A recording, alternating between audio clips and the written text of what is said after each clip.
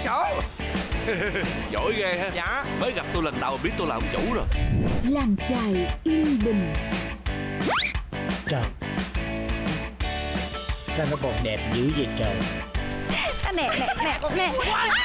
Má mày đâu không giỏi Trời, chú- chú ba. Mày nó Qua điều tra được biết á Anh đây là người lương thiện Chứ không phải cướp như anh nói. Kiều bào hồi hương Chả là dân quê xóm mình Mà nãy chả nổ như pháo vậy Chú ơi Chú ơi. Chú ba? chú. Chết cha. Chú chú? Chú nợ À. Chú nợ đồ tiền. Tụi bay Đúng Lẹ rồi. lẹ lẹ lên. Không lẽ trời hại người gian ờ, Ngay sao Hàng xóm náo nhiệt. Muốn hẹn đâu phải dễ.